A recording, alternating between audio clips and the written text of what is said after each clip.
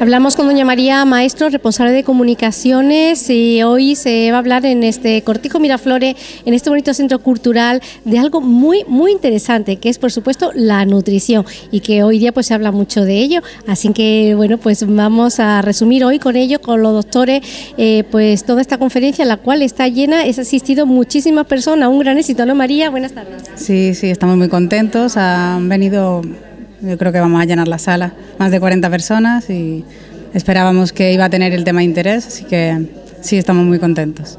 O sea, que el motivo eh, de estar hoy aquí en el Centro Cultural Cortijo Miraflores es la nutrición y es porque me imagino que había hecho un balance de cómo está, bueno, cómo comemos, cómo nos alimentamos, si lo hacemos bien, lo hacemos mal y por eso esta conferencia está. Sí, bueno, la idea de la conferencia partió de un trabajo en equipo que estamos haciendo desde el punto de vista de comunicación con la doctora Ramiro. Ella es especialista en medicina de la nutrición y como nosotros somos un centro de reproducción asistida y un centro de ginecología, obviamente trabajamos con la mujer. Eh, queríamos darle esta conferencia a todas las mujeres, tanto nuestros pacientes como amigos y, interesados en el tema, para que valoren la importancia que tiene la nutrición en su vida, especialmente en la vida de la mujer. ¿Nos presenta María? Sí, el doctor Hugo Benito, director médico, el director de CERAM, Centro de Reproducción Asistida de Marbella, y Rosa Sánchez Ramiro, médico especialista en nutrición. Pues muchísimas gracias María por esta introducción.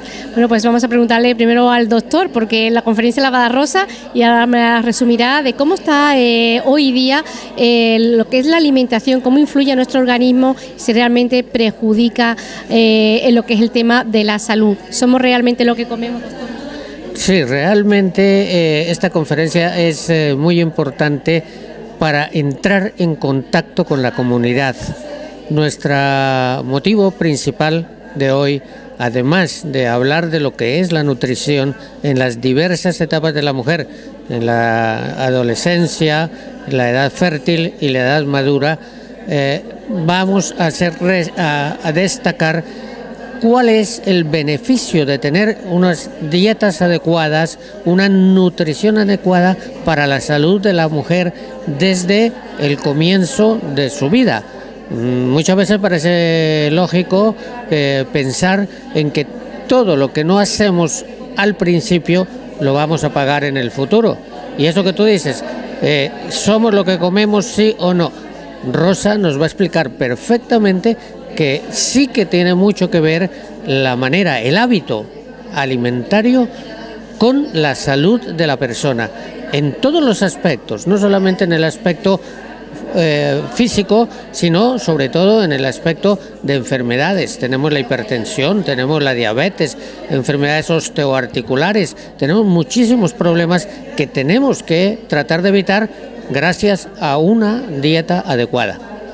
¿Y eso es para todo el mundo igual, doctor? ¿O también dependería el, bueno, el grupo sanguíneo que tengamos cada uno? Bueno, en general, Rosa ya nos lo va a explicar ampliamente. Eso no es por el grupo sanguíneo, eso es en general para todo el mundo.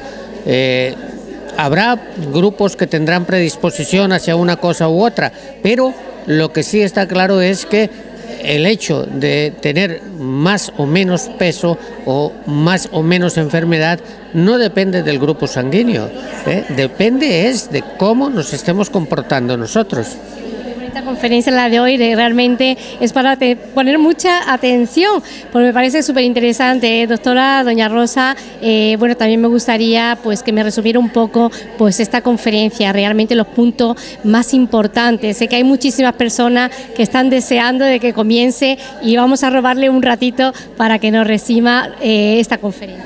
Bien, el objetivo, el objetivo es intentar eh, hacer un recorrido por aquellos aspectos que hacen diferenciar las necesidades nutricionales de la mujer respecto a las del varón, a las de cualquier niño, por ejemplo, a lo largo de su vida. Y es que las mujeres son más complejas, eh, tienen más cambios a lo largo de la vida, condicionados sobre todo por, por sus sistemas hormonales y por los procesos fisiológicos que viven viven hitos o hechos como son el tener un ciclo menstrual o embarazo, lactancia o la menopausia, que son, eh, son, son hechos completamente fisiológicos, es decir, normales, pero que tienen una incidencia en, la salud, en, en, cómo se afrontan, en cómo se afronta la propia biología y que eso, unido al entorno en el que vivimos, hace que sea necesario adaptar, no se puede, o sea, seguir haciendo las cosas igual en todas las décadas de la vida, hay que ir adaptándolas a la situación biológica, pero también a la personal, y eso, teniendo en cuenta el entorno que vivimos, se hace ya cada vez más,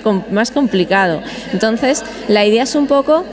Eh, Mm, recalcar aquello que, parece lo obvio, pero que no acabamos de hacer. Es decir, las encuestas de población, de hábitos de la población española de este año dejan mucho que desear. Todo el mundo sabe, porque tenemos mucha información, qué es eso del colesterol, qué es, qué es lo que es comer bien y qué es lo que no, pero en la realidad no se hace. Y pienso que no se hace porque no está completamente asimilado cuál es la repercusión real en cada persona. Entonces es un poco intentar mm, entender el propio cuerpo para saber decidir más acorde con, las necesidades. Ese es, mi objetivo de fondo, que no sé si lo conseguiré porque es complicado. ¿Algunas recomendaciones?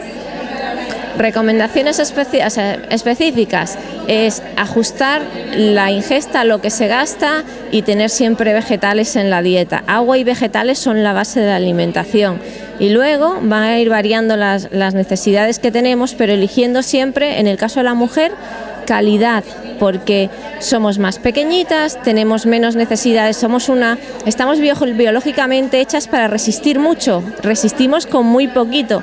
Por tanto, en ese poquito, o sea, esas calorías que necesitamos al día, tenemos que sacar todos los nutrientes necesarios que son los mismos o más de los que necesita un varón a lo largo de su vida. Entonces hay que ser muy selectivas en la, en la decisión a qué nos llevamos a la boca, porque de ello depende nuestra salud. Eso es lo que intentamos, a ver eh, si lo conseguimos, como digo. Va a ser uno de mis propósitos para este próximo año 2014, el cuidarme un poquito más, ¿no, María? ¿Tú también? Sí. no, siempre podemos mejorar, sí. Muchísimas gracias y enhorabuena eh, por la audiencia que estáis teniendo hoy, eh, con lo cual espero que se repita en otra ocasión. Muchas gracias, doctor Gracias, muchas gracias.